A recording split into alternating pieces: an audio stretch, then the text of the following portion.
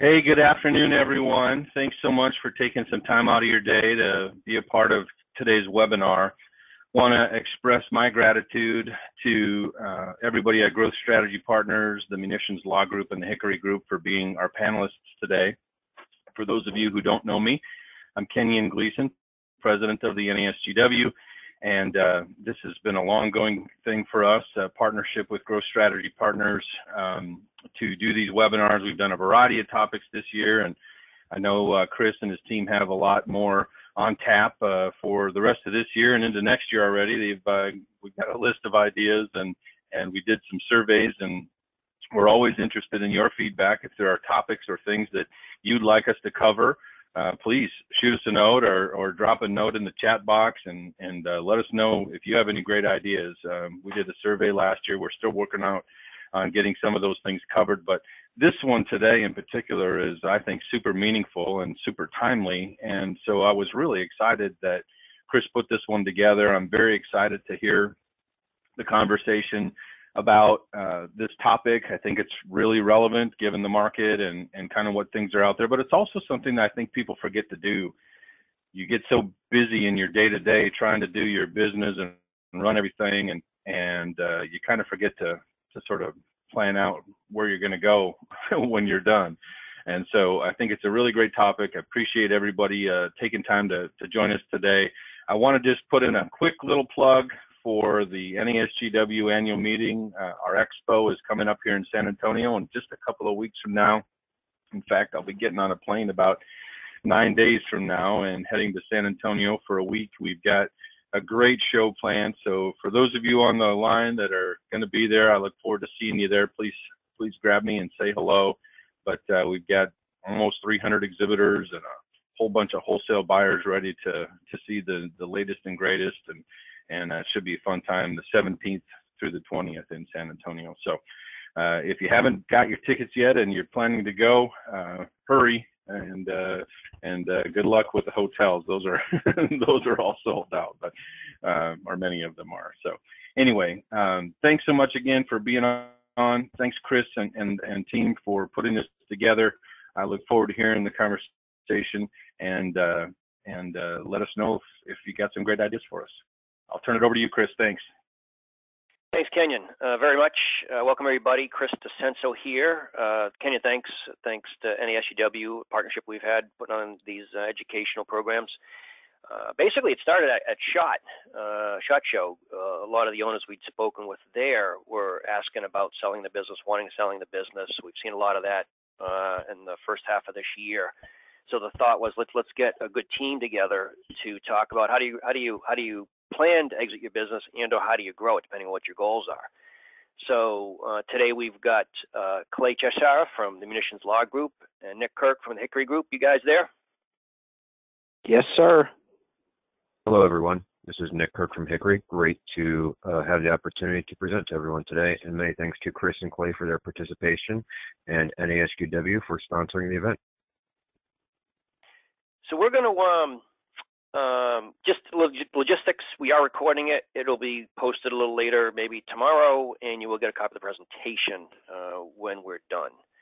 So today, uh, topic agenda is going to be this. Uh, let's talk about quickly what the goals are uh, of what we're trying to accomplish today, what the themes that we want to share with you. Uh, we'll go through some introductions, a little about who we are. Uh, we'll talk about exit planning. We'll get into more the depth of the sales process how do you do this? What are the challenges you may run into? And then what are the next steps that you should be uh, doing as an owner of the business? I think we have 90% uh, of the attendees today are presidents and CEOs, so it's a real good turnout. Uh, so uh, goals and themes, what are we trying to do? You know, really trying to provide you with some insights on how to prepare your business for a future transaction or sale. So this is all about you. How do you, how do you get you get better? Um, when we talk a lot with other professional service providers, a lot of the challenges that they quote unquote complain about is the fact that their clients aren't ready. So hopefully this is going to give you some insights on on how to get ready.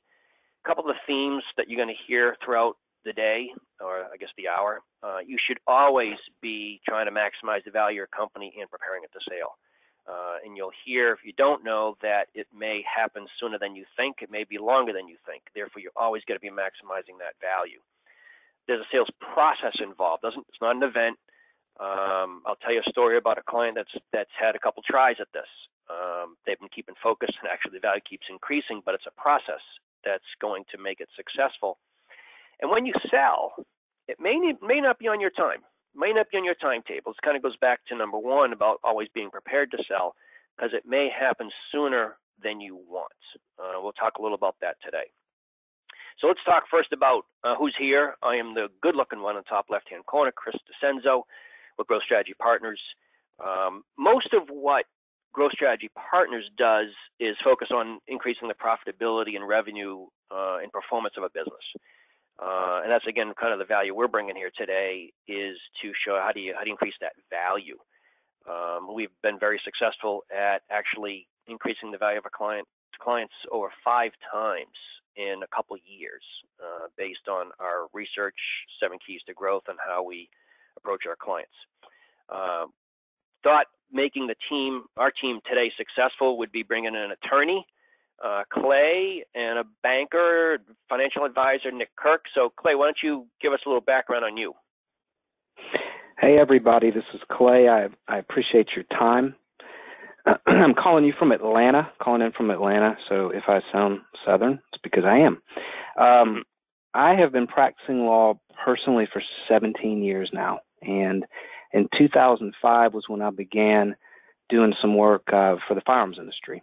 And uh, our firm, Munitions Law Group, we are a a full service law firm to the firearms and outdoor sporting goods industries. And, and what full service means is, and this is basically what we do, we do corporate, transactional, which includes mergers and acquisitions, regulatory work. Uh, a lot of these industry members are regulated not just by ATF, but also by the Tax and Trade Bureau, by the State Department, et cetera. We do patent work because a lot of the, the, our clients have technologies that need to be protected. We do litigation work because a lot of our clients um, get sued or need to sue, or even prepare for that. And uh, and then we also have a staff of, of experts who uh, are not attorneys. They uh, they tend to be uh, either retired regulators or industry executives. Um, but basically, what we do, we do and, it, and it's a blast and a privilege. We do firearms law for firearms clients all day, every day. And you like it too, right? It's great. It's a blast. Yeah, it's a blast. That's the what's the uh, the well, whatever. Nick, give us give us a little background. Yes, sir. Uh, folks, uh, the Hickory Group, uh, contrary to popular belief, is not a Southern North Carolina-based firm but we are a New York New York based firm, and our heritage at Hickory uh, is from Lazard. Our chairman Mark Francis is a former Lazard London and New York partner. Myself, I began my career at Lazard, so we bring the same sophisticated M&A advice that we provide to clients at Lazard to the growth end of the middle market. And more specifically, with the firearm sector, is a personal passion of mine. Uh, my father was a Vietnam vet, was a Seabee in Nam, and uh, I just grew up shooting firearms, clay, uh, clay shooting, deer hunting, etc. And moving to New York, uh, folks here on the East Coast certainly don't have an appreciation for the heritage of firearms in our country.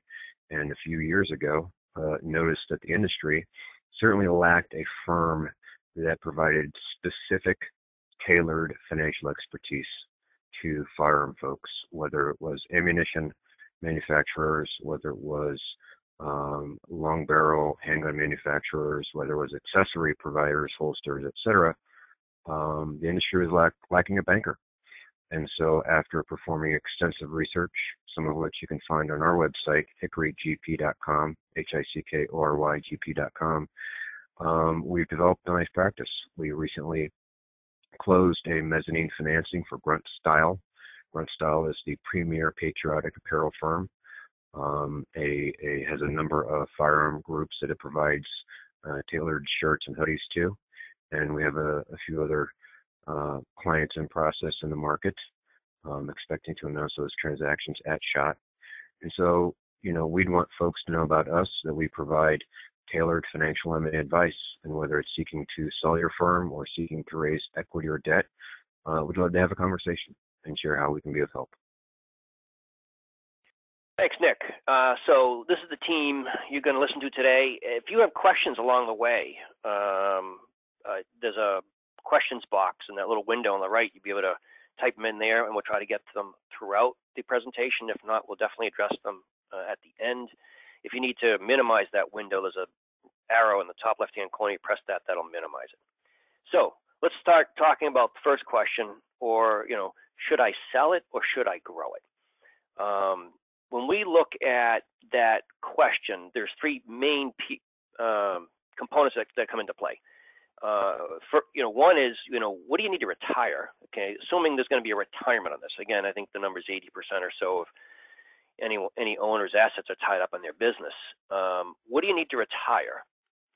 What's your business worth? Which is kind of that financial question. And if those two match, or the value is higher than what you want to retire, then good. You could you can then sell sell. But the question is, are you personally ready to do that? Um, many owners actually been talking to family members talking about their dad that's been working in the business for 30 something years and that business is his identity that's who he is and for him not to be in the, involved in that business is going to be you know shock therapy so he's personally not ready the business has great value plenty if he wants to sell and retire but he's personally not ready to sell that business so you know first thing you need to think through is a do you have the business value do you does that match your retirement needs do you know that and then personally, are you ready to uh, to, to sell this and transition, whether you retire or just sell and, and move on to other things? So answering this question, you know, if these these these three match, then yes, you're ready to sell. If not, you should be growing the business. You should be working on improving the profitability, the growth, performance, et cetera, of that business.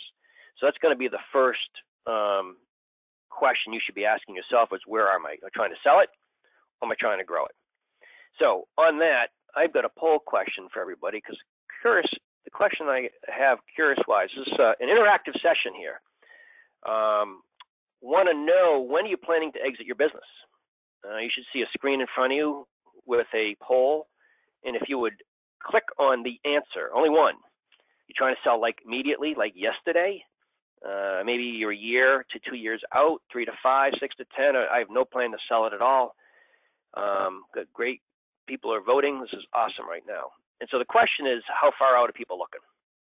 Uh, and I'm going to give you a little live feedback. Most of them are a little farther out, which is great because if any people that are selling now, uh, unless they're in the middle of the process and they got all planned, that might be a little more challenging. What I'm going to do is I'm going to close this and I'm going to share it with you. And uh, so hang on, close and share.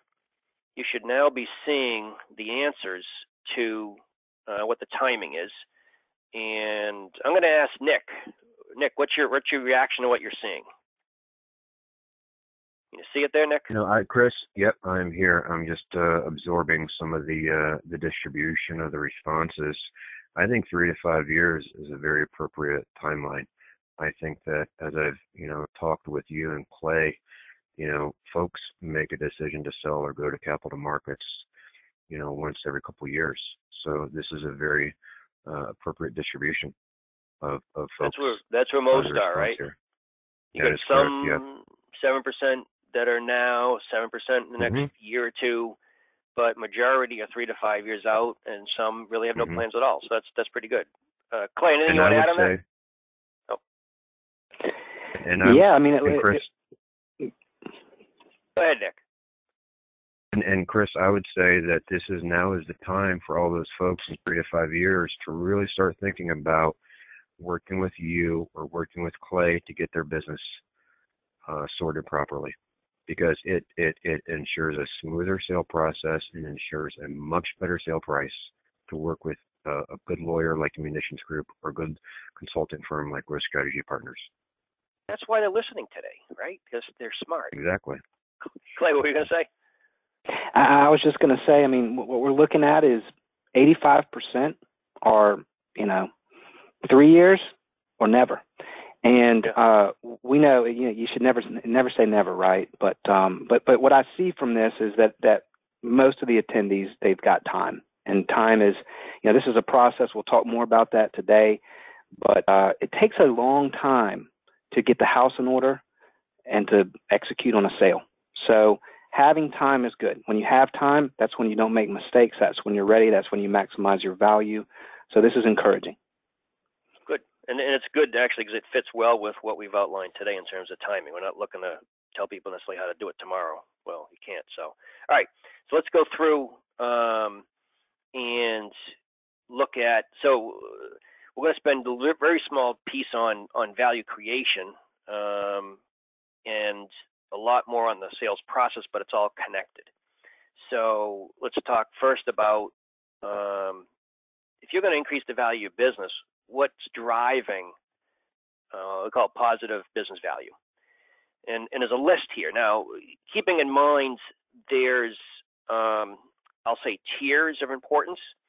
Uh, and one of the top tiers of importance that a buyer is going to look at, you know, again, let me let me even step back a little, right? What drives the value business? Well, it's what the buyer sees in it, right? It's all about the buyer. It's not about you what math you may do. That's a starting point, but it's about what the buyer sees and sees of value. And and so if you want to increase the value of business, first thing you do want to start is on the financial side, uh, EBITDA, uh, growth, profits less the non-cash expenses is primary driver of value of a business. Uh, the more profitable it is, the more the more valuable it is. Revenue growth might be, might behind that, and, and a strong leadership team. I remember uh, I've talked to a bunch on the venture capital and private equity side, and one of the comments they made stuck with me a while ago. Um, and they were talking actually about the team in particular.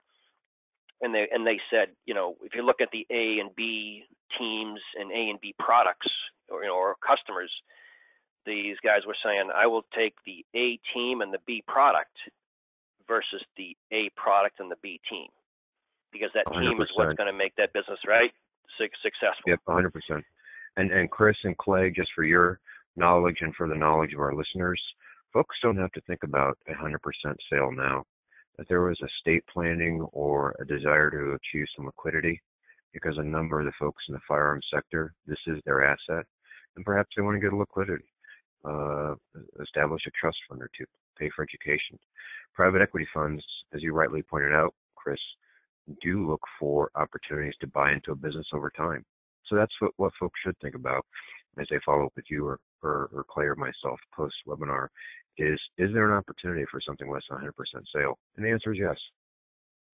Good point. Very, very good point. We didn't actually dig into, I mean, you know, you could do you could do an hour just on you know how do you drive business value. Uh, so we're trying to hit across a bunch of points. Um, but what you'll see here, you know, is a list, a, a, top, short list of what uh, drives this value. The things that don't drive value is when the buyers or when you don't have consistency and you can't explain it. And so, you know, you think about someone coming in, if you were to go buy your business, and some of the reports don't match or you can't get the information that was that was needed um, you lose faith or you have less trust in what you're seeing and that has a huge impact on what someone's going to pay. So this is all about almost house cleaning. I mean there's a there's a value creation component to this. There's actually a, a methodology that we used to to drive business value it's been very very successful but it takes years to make this work and to work well because there's actually so much going on. Um, so I'll leave here with this list unless Clay or, or Nick want to add to it because we're going to jump really into the sales process uh, and, and then what how, how do you make that successful? Anything Clay or Nick you want to add to this? Nothing from me. I guess that's a no. So um, and again, if you have more questions on the value creation side, we can we can deal with those um, later. So let's talk about selling. So let's say we, are going to go back to that chart that shows, you know, should you sell or should you grow? That was the real quick. That was the abbreviated version of how to grow it. Uh, now let's talk about the the sales process and how do you sell it. I'm going to start by talking about the timeline and the team. So if you decide to make that decision uh, that you're gonna that you're gonna sell it. what you'll see here on the left side is that you know two to 20 years, whatever it might be, of creating the value. Uh, and then if you're going to sell it, you're going to be looking at nine to 18 months or so from the time to say go to actually closing the transaction, receiving the money, and and we're going to go into that in more detail today. But the important thing in order to make this work, you got to put your team together. Kind of as, as we've got the team today with myself, Clay, and Nick. You know, you need a team to make that transaction successful. On the left side, the value creation, you see you, you should have an accountant now, probably a corporate attorney. You may or may not have a wealth advisor or someone to deal with the money. But when you start talking about an exit, you need to bring in uh, another team or an additional team. Your accountant will probably be involved. Your corporate attorney will probably be involved. The wealth advisor definitely should be involved because that's going to go back to do you have the the what's what's your financial plan uh, for retirement? Do you have enough money from the sale of the business and other assets to retire on? So the wealth advisor, again, if if not there now, needs to be brought in. Uh, you'll see this growth advisor, exit planning advisor. That's the role Growth Strategy Partners plays. Uh, a in helping you either grow it and grow it, and or preparing for the exit, um, looking out a few years. But then when you get into the exit, now you're going to pull uh, literally a transaction team together. And so on the attorney side, you see here, there's an attorney specific to deal with transactions, uh, specific to deal with estates and regulatories. And then you got the M&A advisor. Uh, and what I'm going to do is I'll ask uh, Clay first, talk a little about the the attorneys, if you would, that might be involved in the team, uh, and then we'll get Nick to talk about the role of the advisor. Yeah, thank thank you, Chris. Um, can you hear me? Loud and clear. Good. So, um, because I said no to your last question, and I don't know if you heard me. So anyway, um, I, thanks for the opportunity to, to weigh in on this because uh, the point that I want to make is, you know, a lot of times when you look at you look at the the teams on the on the left column and the right column, you know, most most clients that that contact us um, already have an accountant they've worked with for years. They already have a general corporate attorney who they've worked with for years. They've obviously already got a wealth advisor in place. It's it's when you start really looking at this kind of an exit where you start going, okay, I need I need to find someone who's got a deeper knowledge of the industry that I'm in. And so, you know, that's one of the reasons that we, you know, anytime we have a client who needs to increase revenue, we put them in touch with growth strategy partners because Chris understands the industry. He understands what drives revenue in the industry. He understands, he has relationships. So he's able to connect clients with other people who can help increase their business. Same thing with the with the regulatory side of this. Um, you know, any most just general M and A attorneys can can can handle the transaction documents, but where someone like Munitions Law Group helps, uh, having a regulatory lawyer is to is to help that M and A attorney understand the unique issues that need to be addressed because of the regulated nature of this business issues regarding federal firearms licenses, issues regarding compliance, those kinds of things. And really, it's the same thing with the M&A advisor. You know, it because Hickory Group is going to have had connections with investors or banks that are interested in investing in this industry. So, you know, you really sort of it helps to have someone on your team who has a specialized knowledge in your industry. That's the only observation I've got on this.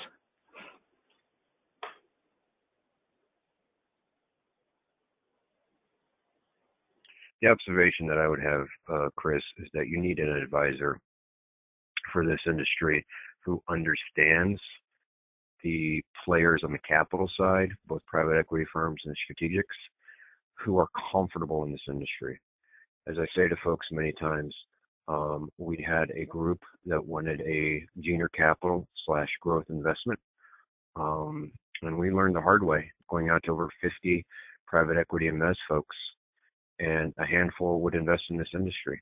Very active folks who who who have a very strong affinity for firearms and understand the risks, but you have to sort out the advisor on the financial side that you want who has the contacts on the capital market side to to get you the right sale price and get you in front of the right buyers. This industry, more than any industry in America, is highly regulated. The uh, private equity firms, because of the social implications of investing in firearms, many are very wary. So you have to have the right contacts. And Hickory Group has invested the time and intellectual capital to develop relationships with private equity firms and the strategics, the Vistas, Compass Diversified, the AOBCs, et cetera, to get our clients in front of the right folks.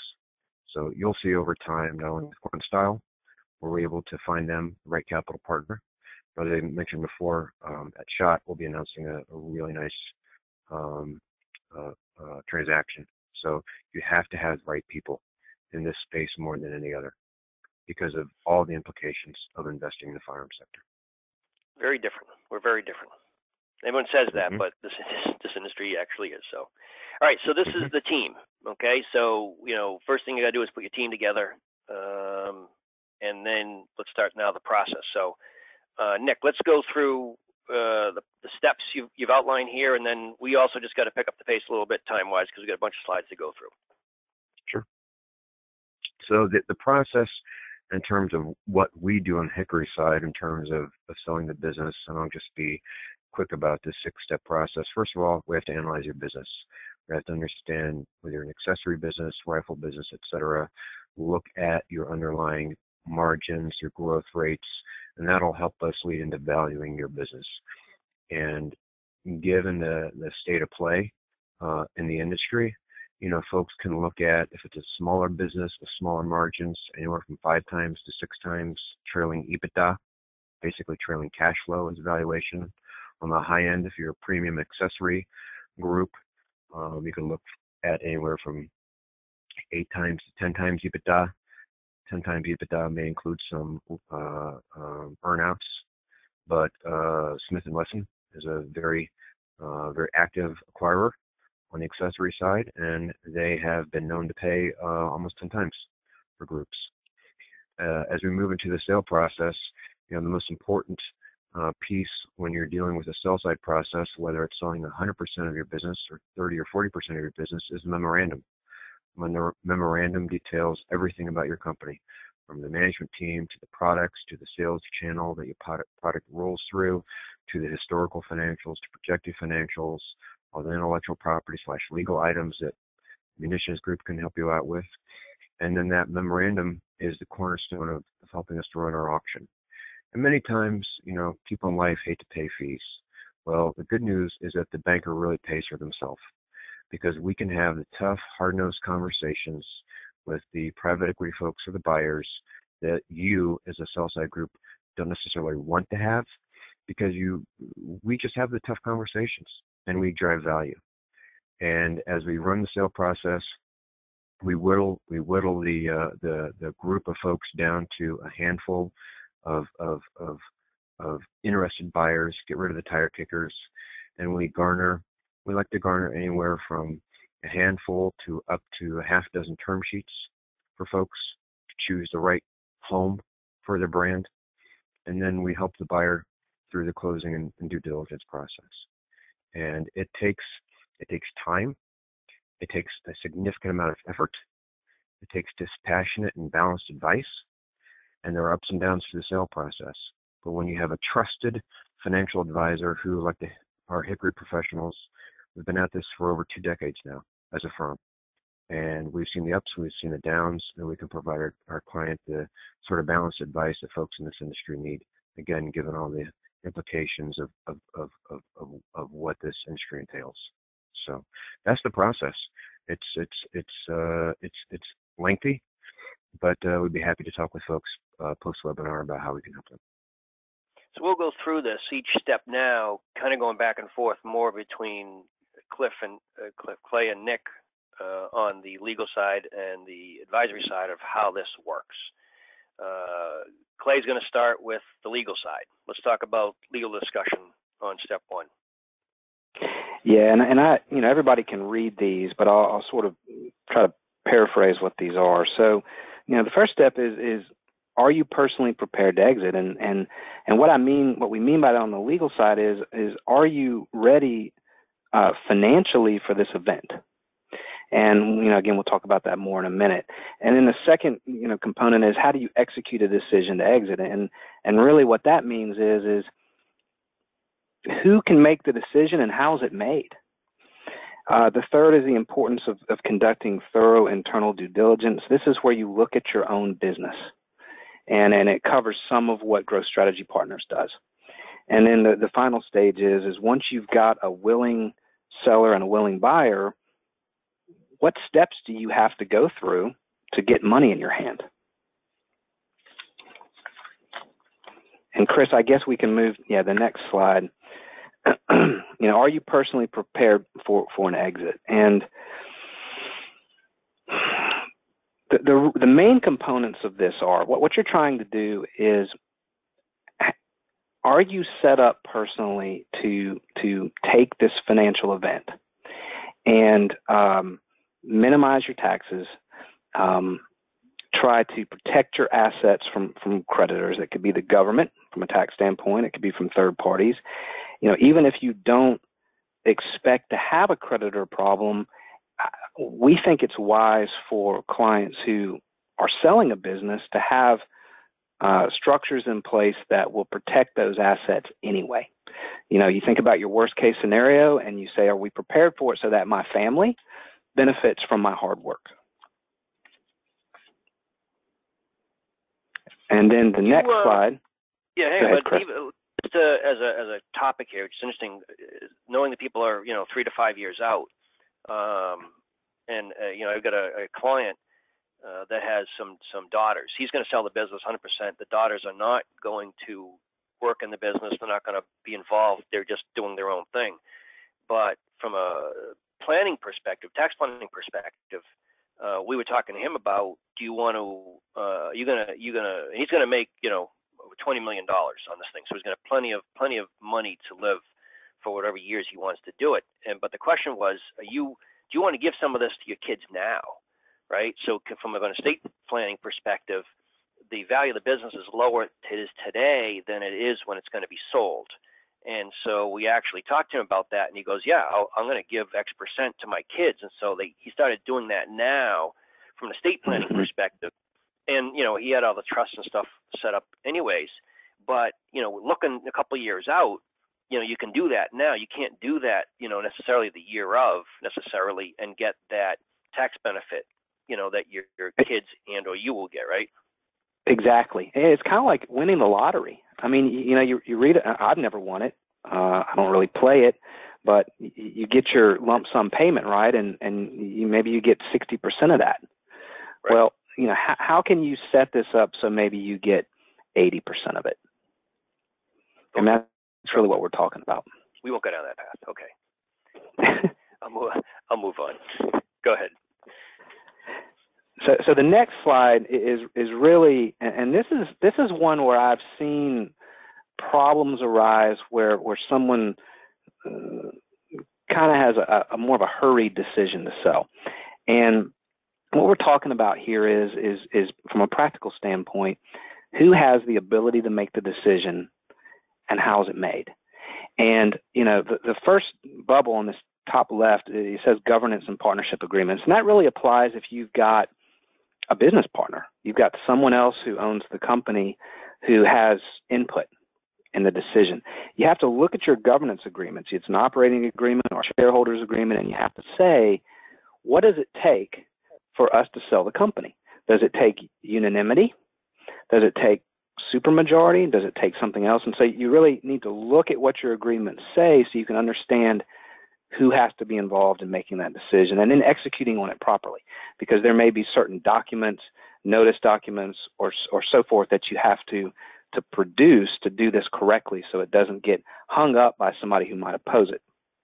And then the second component of that down at the bottom third party agreements. This is where and a lot of times uh, this is something where um, you don't realize it's there. And it may be that you've got assets that are collateral to a lender.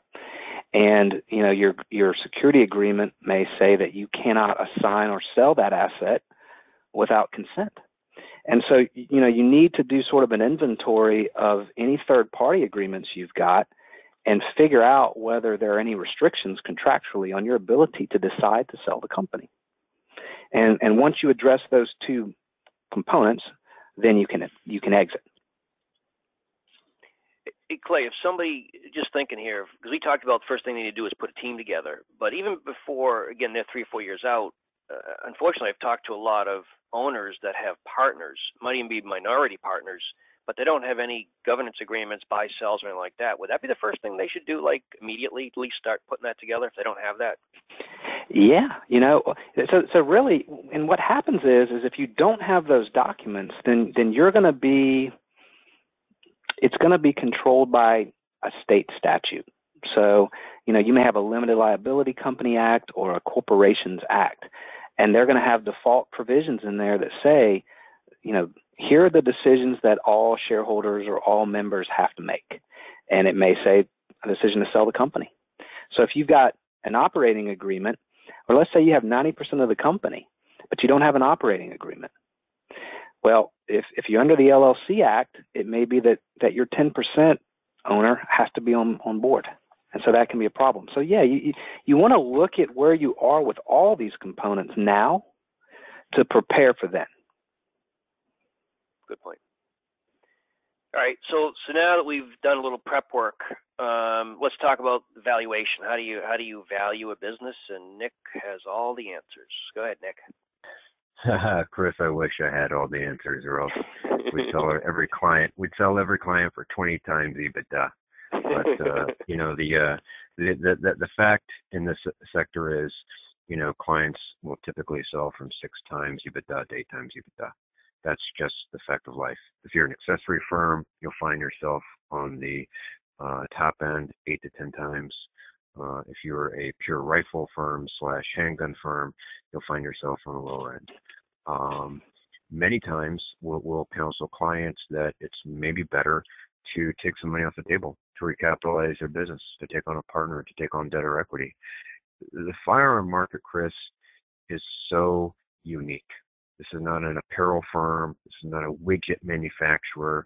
This is a company um, that has, as we have seen with the Las Vegas shooting, and as you know, Clay said, you know, our, our friends there at the munitions group say, and our friends there with strategy partners say, there's overnight risk to this business, and no one on this phone call should ever think otherwise there is from the buy side, from the folks that we talk to in the capital markets, their number one job is not to lose capital and not to put capital at risk.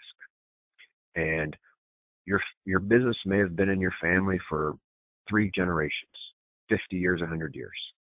Folks who write the checks, folks who have the capital, don't care. They're, they care about making sound investments. And that may seem harsh, but I have to give folks give it to folks straight. You have to understand the industry we're in. You have to understand that if I'm not going to get the price that I want, then maybe I should think about a limited sale or recapitalizing my company. Because, you know, as, as Clay pointed out, there are tax issues, there are personal estate planning issues. And to have your personal, large portion of your personal assets in your business, that's that's difficult. And folks should really think about if I can't sell for the price I want, do I recapitalize my business? Do I take some chips off the table? And there are ways to do that. And again, we'd be happy to discuss. But there's really four key metrics when you value a company. And there's the classic DCF, discounted cash flow analysis, precedent transaction analysis, which is basically, you know, what did the house down the street sell for? What did the company down the street sell for? There's a multiples method where you'll look at trading multiples and you take a discount because you're a private company and a further discount because you're in the firearm sector. And then there's a classic LBO analysis, which is if I took on a bunch of debt, capitalize my business, and I aim to get someone at someone at a private equity rate of return of 25 or 30 percent, what would that number have to be? So, you know, these are are all guideposts that any financial executive has access to, any financial executive can run. But again, we're dealing with the firearm market sector. And that's why on this call, um, it really behooves folks to understand and think through the process, um, understanding this unique industry that we're all in. And I, again, keep the, keep the point that that um, we've been inferring a full sale, but partial sale is actually quite common and actually very helpful for the uh, for the for the owners. Um, yep, and, and, and it allows you. I'm sorry. Yep. And it allows well, you the, and, and Clay to add further value to a company. It, it allows folks the opportunity to take on capital to grow their business and allows you, Chris, the folks at Growth Strategy Partners, the opportunity to work your magic to help someone grow revenue and allows Clay the, the opportunity to, to get into a company and, and and get the books in order, to get the legal documents in order. That's why sometimes folks prefer a two-stage sale process. Right, right. Um, and and again, just a, an observation is that usually when we're having conversations with the owner, and I ask them what do you think it's worth, it's usually a lot higher than it than what it really is. I assume Nick, you see the same thing, right? Yep. Yep. Okay. Yep. Um. All right, so we're in the process of selling. Um, so let's go and look at the next uh, step. Is after you've got the valuation done uh, the next three need, you know, put the memorandum together, uh, the sale auction, and the term sheet. Nick, why don't you explain how this works and how it works well? Yep. How, how it works well is really a partnership, Chris and, and Clay. As you guys at Growth Strategy Partners and, and Munitions Group partner with your clients, we really have to partner with, with our client in, in the sales side process. We need one person who is the point person, the traffic cop, to manage the flow of information, right? We, we cannot, you know, we can help set the strategic narrative, but we can't make up information. We can't make up forecasts. That has to come from the client. So throughout the throughout the throughout the process of developing the materials, maintaining a due diligence center, um, you know, working with our contacts on the, on the other side of the table in the capital markets, you know, managing the due diligence process and closing process, the the, the most efficient way to, to, to manage um, to, to manage a sale process is to have close partnership with the client. And I know that sounds hokey, but again, just giving it to the folks straight here on the webinar, you need to invest you know, and, and allocate us one resource, whether it's your chief of staff, your personal assistant, or your COO, really makes the process go quick. Great, great. And this this is a lot of a lot of time. You know, this is again we talk about preparing in advance. Uh, having gone through one just recently with a client, you know, they didn't have the reporting that they that they should have had, and it took us a while just to get basic reporting done, sliced by product, by by customer, by category, by brand um, and just some of that basic reporting wasn't there. We we developed it in advance, and so that when the buyer came down and asked for all these reports, we just printed them right out, and buyers were, wow, look at that. So there's a lot of work, especially when you get into the transaction itself. But let's hold on to that thought and let um, Clay talk about on the legal side some of the things to worry about. Yeah, and so so we're looking at the the stages of the transaction. This is the, you know, what are the steps we have to do to actually get money in your hand? And, um, you know, the first one obviously is you, you, so you're shopping around and you're trying to find a willing buyer and a willing seller. And uh, once you've got that and you've got a, sort of a, a, a conceptual deal, you put it in a term sheet. Um, and, and in that term sheet, you're gonna you're gonna address the basic terms. Is it a is it an equity sale? Is it an asset sale? Is it something else? What's the price going to be? How's that going to be paid? And when are you going to do this? When are you going to close it? And then the second stage is, is the transaction checklist. And what you're doing here, really, at the end of the day, is you're diagramming out, designing out the transaction. And this is a really important stage because if you don't do this, then you can miss something. Uh, you can miss the timing. For example, if you have to get your own federal firearms license, if you're, or if the the buyer has to get its own federal firearms license, and that step is not appreciated early enough in the process, it can slow things down. And then the third stage is is is transaction due diligence, and this really, you know, I mentioned earlier um, this concept of internal due diligence, and that's part of what I'm talking about here. The internal due diligence really happens before stage one. And that's where you are, and I, I like to sort of dumb things, dumb's the wrong word, but I like to simplify things, having tried a bunch of jury cases when I was younger. Um, I like to use a real estate analogy because I think most people can understand that if you buy a home and you live in it for a decade, you have to take care of it.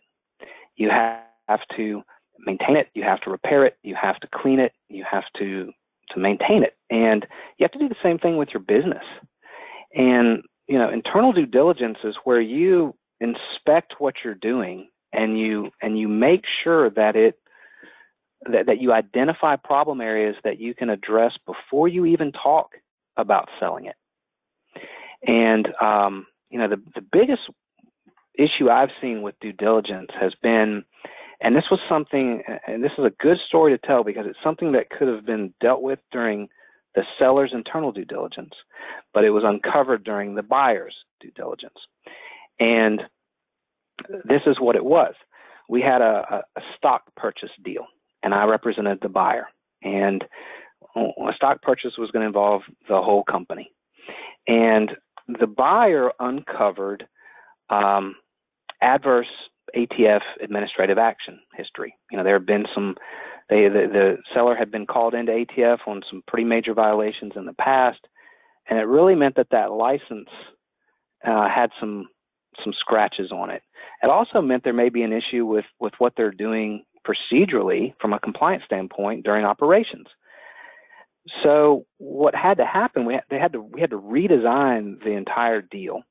It ended up closing at a lower price, and it cost a lot of people jobs. You know, the seller in this instance wanted a lot of their longtime employees to stay on board, and that was that was a, that was a term. But the due diligence showed that those people um, couldn't be trusted with the compliance side of things, and and they couldn't stay. So you know you want to do due diligence before you even sell your company. You want to look at what you're doing. You want to look at your maintenance. Are you using you know updated, modern, state of the art technology? Um, does everything look good, right?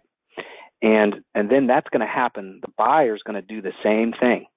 The buyer is going to do an inspection of your operations during its due diligence.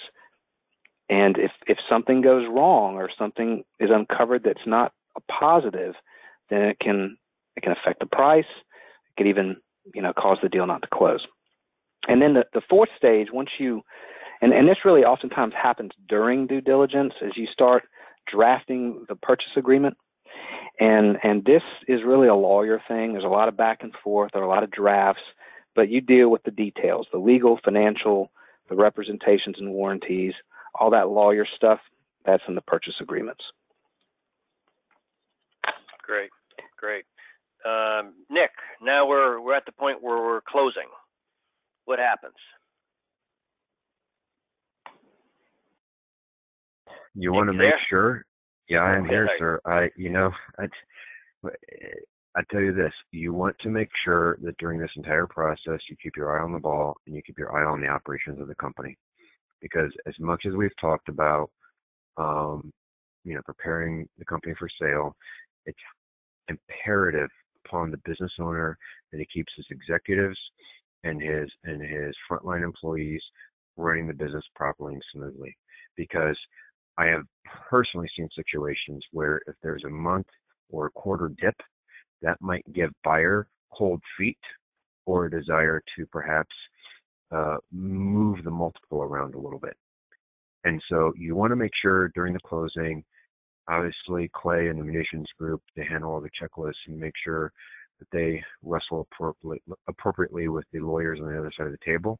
But you also want to make sure that you run the business as, if you're going to be operating it for the next hundred years. Because you want to give the buyer or the investor zero room to open up negotiations. Good point. And if they don't, if they quote unquote take their eye off the ball or, or their sights, um, and they don't run yep. the business, that'll impact them negatively at, at closing, right? Yep. And, and one thing, Chris, and I know that we've got about 10 minutes left here, there's a whole human capital issue here that we could literally spend a good 10 or 15 minutes discussing. How do you socialize the sale process with your executives and with the folks in the firm who need to know. Because during the closing and diligence process, we as bankers and, and, and perhaps lawyers, you'll be having meetings at the client site. Obviously, we're not going to show up in suit and tie. We'll dress appropriately. You don't want folks in the factory or folks in the field to think, you know, anything untoward is happening. You don't want folks to get skittish. So there's a whole human capital side to managing, you know, who needs to know the sale process and and how you want to handle that internally. So that's another thing that they should follow up with you at Growth Strategy Partners and, handling the human capital side of the process, and the folks at, at Munitions Group. You know, how do you handle? Do you have options uh, in the sale process? You have to you have to pay out. Do you have phantom options? Do you have folks you want to give a bonus to for their years of service and dedication to the company? So human capital is a very important part of this. Very good point. Very good point. What about legal, Nick or Clay? Yeah, and, and we'll run through these pretty fast. I mean, obviously the closing is you sit down at a table, or maybe not. You know, it could be remote nowadays, and you sign documents. Money gets wired. Um, obviously, you want to get to the closing table as soon as you can. And then the, the last stage is, is the seller's post closing obligations. Now, just a couple of things I'll hit on on this that really the two most important ones are the reps and warranties. And, and what that what, what those are, you're going to make in the purchase agreement and the sale agreement, you're going to make statements that the buyer relies on. And um, they, the truth of those statements may not be um, fully revealed prior to closing. They survive the closing. So if in the future any of those representations and warranties prove false, it can cause problems for the seller down the road can cost them money. Uh, they may have other obligations they weren't expecting. So, so those are things to really think about and be aware of as you're as you're you know getting close to as you're negotiating the agreements. And then the second thing is restrictive covenants, and these these things I tell you what they they are uh, they're a mixed bag. You know they're they're great if you're uh, an employer. They can be difficult if you're an employee or a seller. You know what they mean. You know what these things do there may be a provision in your sale agreement that restricts your ability to compete directly or indirectly with the company you sold. And you know, you need to be aware of that. You need to understand how that works. You need to be very careful about it. You and I know this is the legal side, but stage seven is party, I believe. Is that right? Where, what slide are we looking at? I'm just teasing you. Oh, um, party? No. Yes. Yeah, party. Yes. Party. Celebrate. Yes. At yeah. your okay. at your house. At my house. Welcome. Always, always, always. Um, Nick put a good a good slide here, just talking about how to make the process. We talked earlier about this being a sale process and some of the key points here. So maybe Nick, you want to just hit upon some of those? Sure, absolutely. You know, key to a successful sale process. Um, number one, you have to understand the industry. And as I said, you know, in this industry, uh, multiples and sale prices can be depressed. You have to find the right advisor who understands the market, who understands the right buyers. You have to understand the uh, the, the needs of the client. Is it a 100% sale? Is it a sale that's dictated by events, or does that client have time? If the client has time on their hands, I would suggest looking at a staged sale process so that we can take advantage of you know, taking some capital off the table, getting the client situated for a second bite at the apple. And then finally, the advisor should always be thinking about the ABCs, always be communicating. You always have to be communicating with your client and with your capital targets. You always need to be contacting. Relentless focus on growing a list of potential capital contacts. No, no deal is set in stone until you sign that term sheet that has exclusivity. Until you sign that, that term sheet with exclusivity, you're always contacting the market. And ABC, always be closing.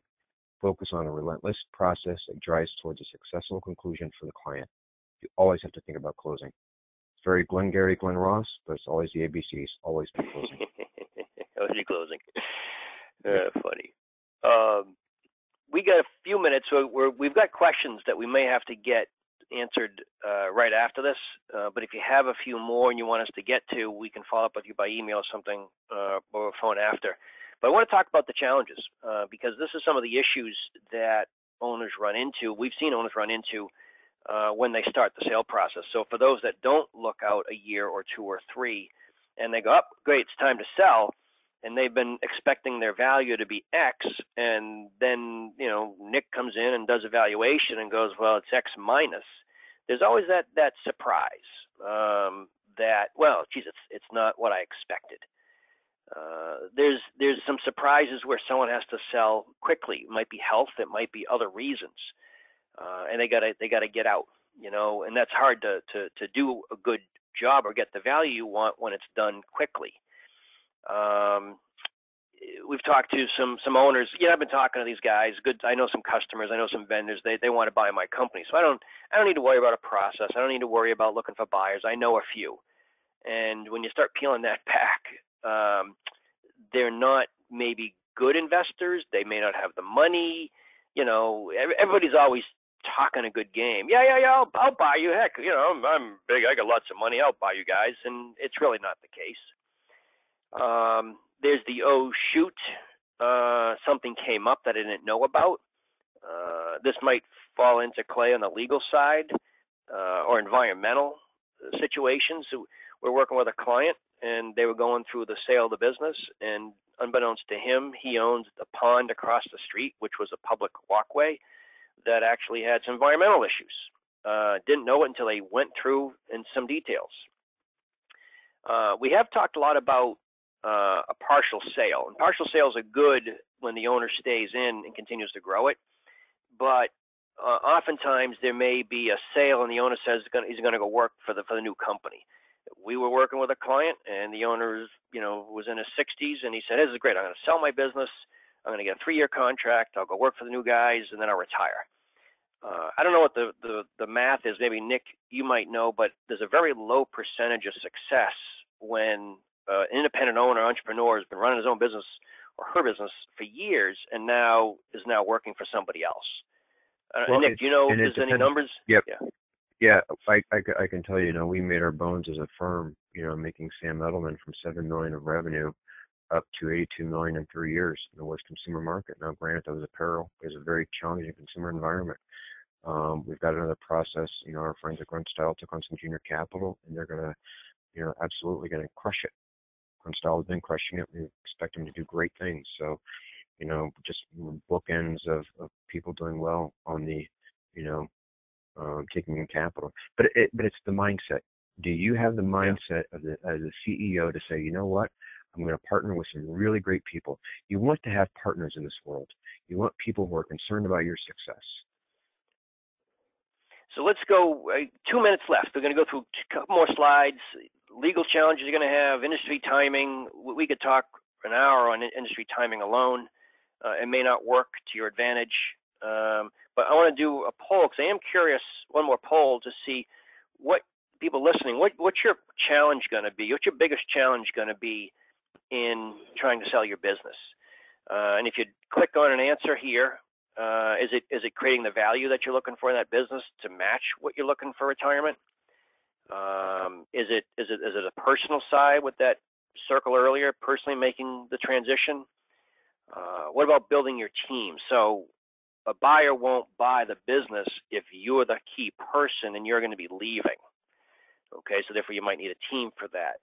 Finding the right buyer, right meaning not just it's all about money, but they're not going to move it, shut it down, uh, or or knowing what to do, you know, and and when to prepare my business. So curious here on what your top challenge is going to be. And I'm going to close this off real quickly and then wrap this thing up. Um, in fact, I'll um, probably, because I'm seeing the scores right now, guys. So I'm going to do a quick uh, uh, close on this and then wrap this thing up so we stay pretty close to time. Uh, again, this you'll see this on the recording. But what you'll see, if assume everyone's seeing it now, is finding the right buyer is the number one challenge in putting a team in place, kind of the top two. Uh, great to see that the value is not a big number because usually an issue and knowing what to do. So let me uh, close that and, and do a, a wrap up here because the question is this. Some of the key points to take away today, always be prepared, always be preparing to sell. Um, timing. It may not be on your side. So again, that gets back to always being prepared. Start now, and and hire some experts, whether it's us or, or others in the industry. Uh, it is a little unique, and um, you need to start preparing. This isn't something simple that you can actually do. You'll find more value and you'll get more value and you'll get more money if you hire some experts. So here's kind of a, you know, maybe the next step for you is to put an assessment together to figure out how prepared you are, okay, and to sell that business. If you have, so there was a bunch of questions. Uh, because of time, we're not going to be able to get to them, so I apologize for that. We'll try to answer them through email. If you need to reach us, uh, either of us, all of our, or all of us, there's our contact information. Please give us a call. Uh, we will also be at, a, NASGW in a few weeks, and if you want to schedule a one-hour consultation with us to talk specifically about this, give us a ring or a call, and we'll schedule something for you. So I gotta I gotta say goodbye to everybody. Nick, uh, Clay, thanks very much. NASGW, thank you very much. Um, everyone have a great day. This will be recorded, and we will get this out to you shortly. Thanks, everybody. Bye-bye. Thanks, everybody. Thanks, everybody. Take care. Bye bye.